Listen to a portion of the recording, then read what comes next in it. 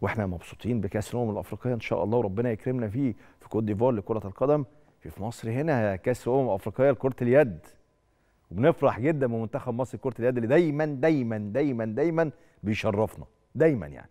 النهارده الدكتور أشرف صبحي وزير الشباب والرياضة أعلن حصول بطولة كأس الأمم الأفريقية لكرة اليد مصر 2024 على رعاية كريمة من فخامة الرئيس عبد الفتاح السيسي رئيس الجمهورية واللي هتستضيفها مصر إن شاء الله خلال الفترة من 17 ل 27 يناير الجاري وهيتأهل الفائز بها مباشرة إن شاء الله إلى أولمبياد باريس 2024 وزير الشباب والرياضة دكتور أشرف صبحي أشار إلى أن حصول البطولة في نسختها الحالية على رعاية الرئيس عبد الفتاح السيسي دليل على الدعم والمتابعة المتواصلة من قبل فخامته لملف العمل بمنظومة الشباب والرياضة اللي وضعتها مصر في مكانة عالمية غير مسبوقة سواء من حيث استضافة البطولات والمحافل الرياضية العالمية أو من خلال النتائج اللي بيحققها أبطالنا في مختلف المنافسات. وبصراحة شديدة عشان أبقى أمين معاكم.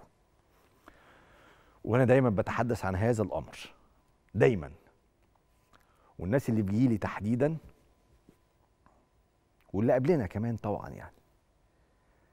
إحنا من سنوات في سنوات كده عدت علينا صعبة كنا بنطلع نقول يا جماعة إحنا مصر يا جماعة لازم نستضيف بطولات كبرى لازم الاستضافة بتاعتنا كمان تبقى استضافة عظيمة لازم حفل الافتتاح يبقى مبهر لازم يبقى التنظيم الناس كلها تتكلم عنه. أنا أظن أنا أظن. ونفتخر بده مش تقليلا من الآخرين بس أنا إحنا بنفتخر بده. ان مصر أصبحت أهم دولة أفريقية تستضيف البطولات الكبرى واحدة من أهم دول العالم اللي بتستضيف بطولات عالمية وبقينا حاجة مشرفة جدا قدام كل الدنيا. كل حاجة بتتعمل باحترافية شديدة في تنظيم البطولات. شديدة. وفي تفاصيل مهمة. انت لما بتتفرج كده على بطولات بتلاقي في مصر تقول لا يا عم دي البطولة دي بتلاقي في أوروبا. بعد كده إن شاء الله يعني في المستقبل القريب وممكن ده يحصل دلوقتي. الناس هتقول وكأن البطولة دي بتنظم في مصر أو بطولات خارج مصر يعني.